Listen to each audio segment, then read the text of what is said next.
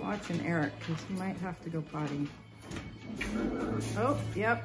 He didn't even do the poop dance. He just sniffed a little bit. But a lot of times they'll start spinning in circles and getting kind of frantic and sniffing. But okay, that's five out of six that have gone potty after dinner. Waiting for one more, and I don't know who it is. we gotta go get the scooper. You guys, leave him alone!